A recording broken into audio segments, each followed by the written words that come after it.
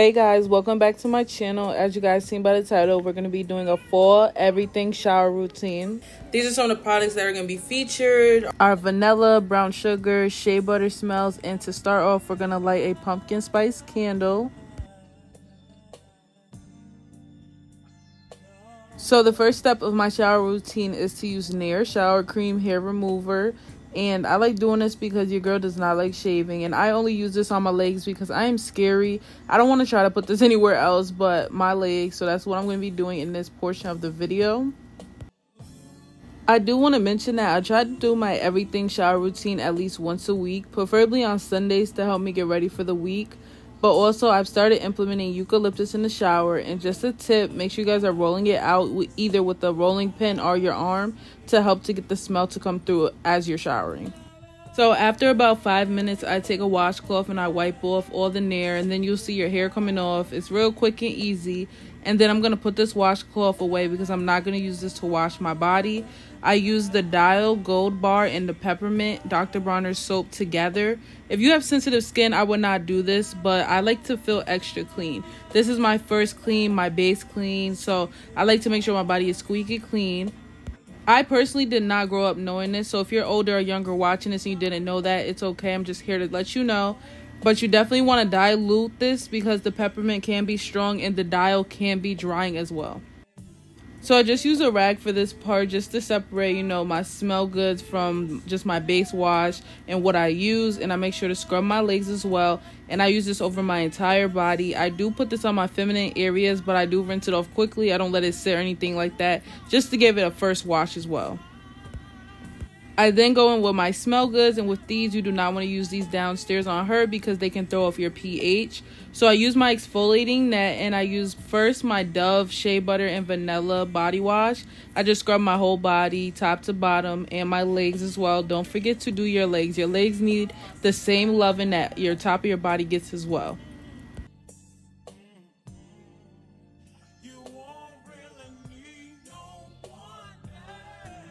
And then I go in with the Caress Shea Butter and Brown Sugar Exfoliating Body Wash.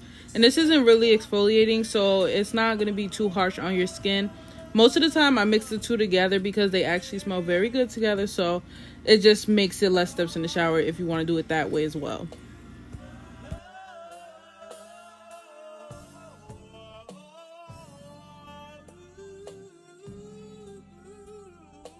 And as for my feminine wash, this is the last step I like to do in the shower when it comes to like body care to make sure that it's super clean. And I use the Monistat Feminine Cleanser with boric acid.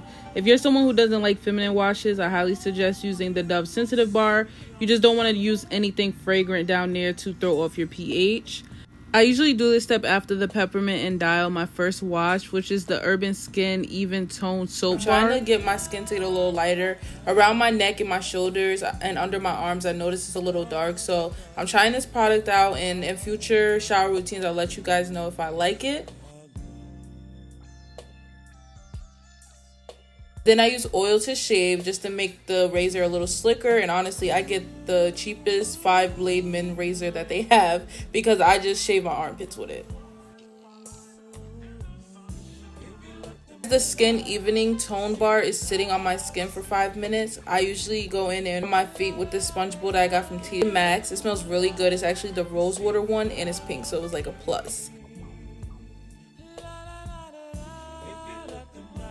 In my robe and I use my Jergens lotion. This is the shea butter one just for the fall vibes. And I'm between the Jergens and Nivea type of girl. So right now I'm using Jergens because I like how Jergens is thick. Nivea is a little runny, so I like that more for like the summertime because it smells a little like sweeter and more like perfume. Let me know if y'all feel the same way if you use that product. I've been recently getting into lotion my body because when I tell y'all when you're lotioned up, like you just feel like a I feel like a cinnamon roll or something. Like I don't know, I just feel, feel my skin feels hydrated. Started incorporating using Aquaphor on my feet every night. I usually do it right before I get in the bed so I'm not walking around with greasy feet And some people even put socks on, but I don't sleep with socks on, so I can't do that. So another thing I do is use alcohol on a cotton pad and put it behind my ears to clean behind my ears. That is a spot that we sweat a lot, especially if we wear wigs and braids or getting your hair wet. I would recommend doing this or using witch hazel with no alcohol if you have sensitive skin. And I also use witch hazel on my behind, on my butt crack, you know, just make sure things are smelling okay. Then I dry it with a paper towel because I don't like sitting with like moisture or anything. Another tip I have I wanted to put y'all on is tea tree oil and Prid if you have a boil. I deal with boils, so I just wanted to give y'all that tip in case you do. I promise y'all it will probably come to the surface within three days and pop. I usually use Dove deodorant my whole life, but this is the shea butter just to match the vibes. Next up is my oil routine, and I, I use coconut oil for oil pulling. And Crest is the toothpaste I use. And y'all want to know something funny about me? I actually hate watching people brush their teeth. Like I hate watching myself brush my teeth so I can't do that for too long on the video. Like I couldn't even watch myself. It's just some it's just one of those things I cannot stand. So next up, I use my tongue scraper. I use the disposable ones and then I've gotten into using a water flosser and then I do that for about 2 minutes. And I use the best mouthwash there is that TheraBreath sells, and that's Invigorating Icy Mint. If you want to really feel the burn, then definitely get that one. The other ones be like mild. I don't like that another funny thing about me, I actually don't know how to gargle, so I'm, I feel so childish sometimes, but I'm gonna learn one day. So you, I usually just switch it around, you know, try to try to do something with it. And then the last thing I do is just put Vaseline on because my lips are usually dry by this point. Next up, I do my skincare routine. I use CeraVe Foaming Cleansing Wash. And as y'all can see, my skin, a decent amount of dark spots on it. I had very bad acne. I will tag the video down below that I did on my acne journey.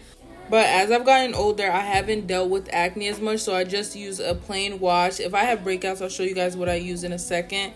But I try to do dermaplaning once a month to get old skin off of my face to open up a new layer. That's what I think I'm doing. So I just use a razor and aloe vera gel on my skin, and I usually get my sideburns because they're very long. And trust me, they go back the same way every time. So it's gonna come back in case somebody thinks I'm doing something crazy.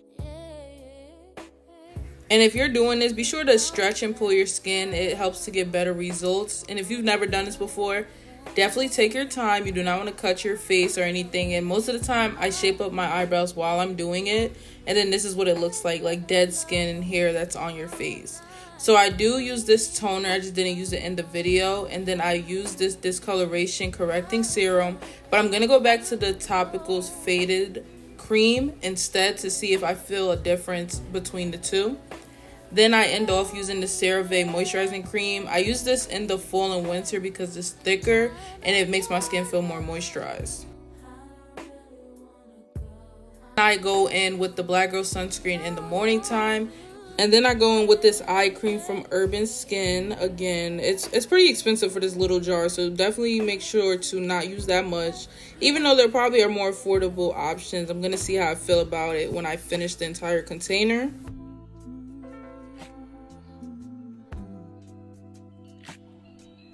This is the product I use when I have breakouts. I just use this instead of a whole wash because I really don't deal with acne as much. And then I usually go in with this Burt's Bees because I bought it. I probably wouldn't buy it again just to put on my lips once again because once again my lips get dry because I'm doing an extensive process at this point. But after, you guys will see my skin looks moisturized, my face is moisturized, everything is done. This is my full 2023 current everything shower routine. So I hope you guys enjoyed this video.